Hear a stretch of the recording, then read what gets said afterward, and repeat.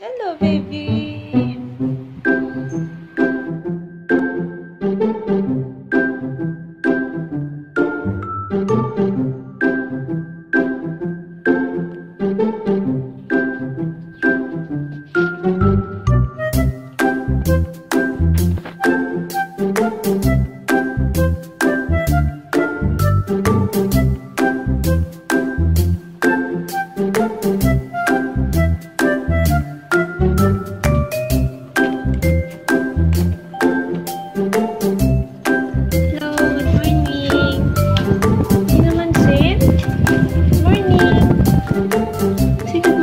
Naman. Morning! So, around this time, mga 8 o'clock, I will let her get out of the room na. And then, yan ang una niyang gagawin. Eat and drink. Tapos mamaya-maya, syempre, while studying, nag-aaral ako. Where's my baby?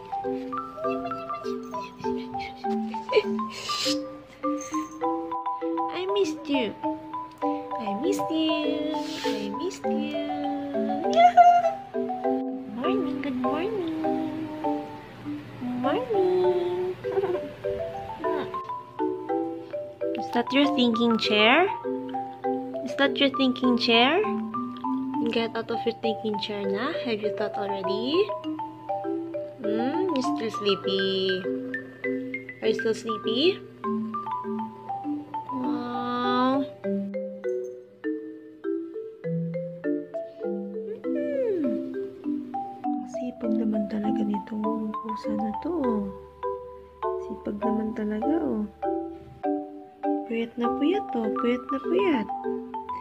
Ilang hours tulog. Oh. Hi guys! So, andyan pala kayo. anyway, ito nga pala si Liit. na siya kanina. Usually kasi, dito yung area ko, di ba? It's either tumalon siya bigla dito, kaya minsan pag inaantok ako, bigla na lang ako magugulat na bilang may gagana magtatod. And then, she's there already. O, ayan, akit siya. Mm. Sa totoo lang, nagsished siya ngayon. So, medyo may allergic rhinitis kasi ako. Tapos, medyo minsan, nakati talaga sa face or sa skin.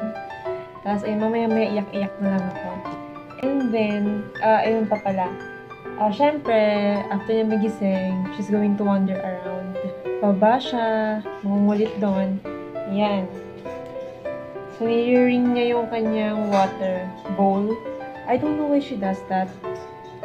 Kayo, alam niyo ba kung bakit ginaganyan nila yung bowl? Yung parang ginaganon nila, yung patunog nila. Maybe just to see the, ano, no, the swarming effect. Swarming effect ng water. Yung ripple, yung ripple, para malaman niya kung may laman. I'm not really sure. Ayun, so akit siya dyan. Minsan, kapag nandito lang ako, bigla na lang ako magulat kasi may mag... na dito siya sa baba. Tapos makikita niya na. Ayun, papakit siya. It's either gusto niya kumain or gusto niya mapapansin. Nakakatawa kasi whenever na matutulog siya. Tukulitin namin siya kasi if ever na mapagod na ako dito, ayun, puntahan ko siya. And ayun, magkukulitan na kami. Antok na antok siya. Tapos minsan naman, siya yung mangungulit.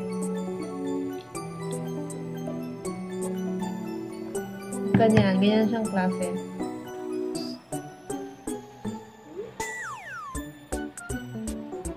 ah, sorry, pulmonary embolism. And Where are you going? If you'll excuse me, Chief, Richard! Really? What? I need you to give me. So, vitamins muna tayo. So, her vitamins is Elsivit. Yun. Diyan ka lang. Yun. Waity, waity. Baby. And we have another one. This is Coachine. With omega fatty acids, vitamins, and minerals. Kami, oh. Mm. mm. Sarap ba? Right.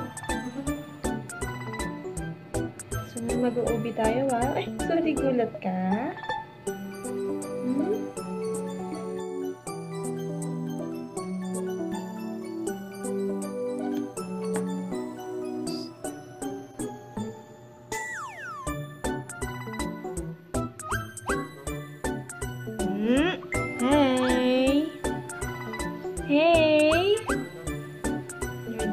Naman. Are you doing there, bata? Mm.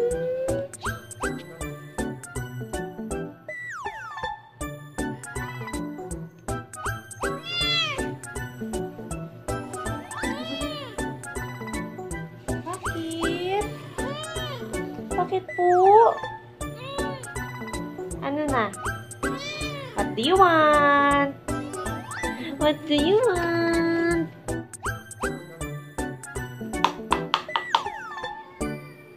You want this?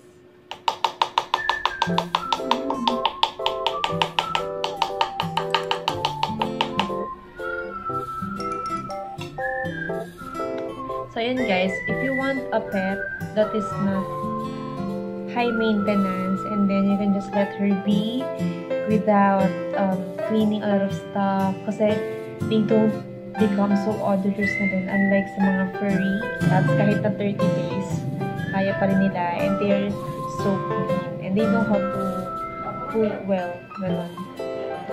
they know how to take care of themselves say good morning to everyone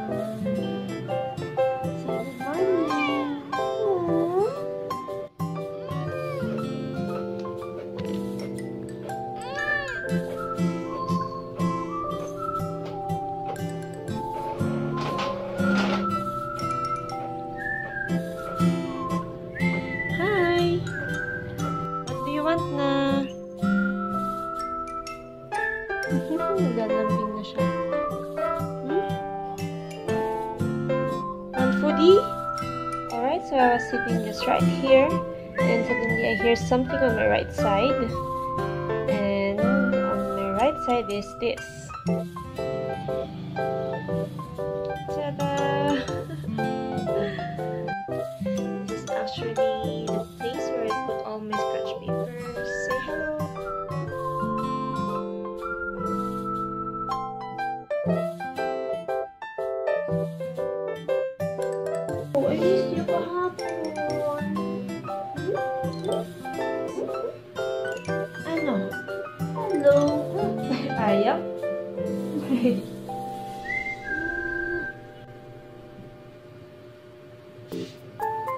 Hi guys! Ito nga pala si Liit. Yan. She would immediately hop on my desk. Tapos magungulit.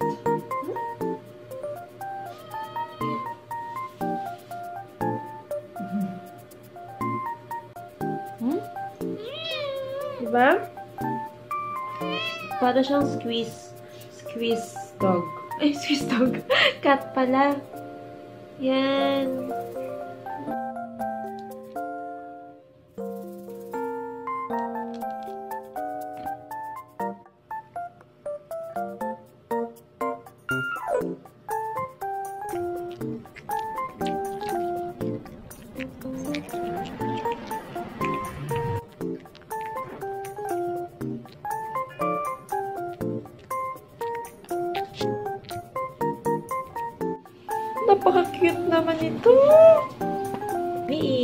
Ikaw talaga ginawa mong mating.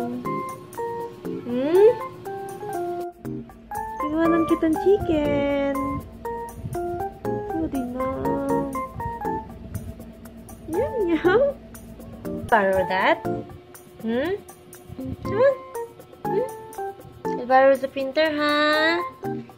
Okay. I'll have it, ha? Eh? Sige na. Ako. Thank you, babe. Thank you, thank you so much. Thank you. Thank you, thank you, thank you. Hi. Psst. Ah. Yeah.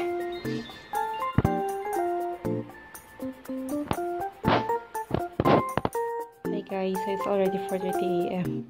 And nakakatawa. Kasi tignan nyo. Nag-ayos na ako ng desk because I'm done for the day. And look, somebody has already replaced me. Diba? So alert. Hi! Ano, ikaw na lang talaga mag-aaral, ha? Totally ititay? Hmm? Hmm? Sipa tayo. Sipa tayo. Ba't umupo ka pa dyan? Tapos na nga ako eh. Let's go na. Let's go na. Let's go na po. Sige, dyan ka na lang muna ha. You, little kitty pie. Hmm? Hmm? Love you, kitty patutsi.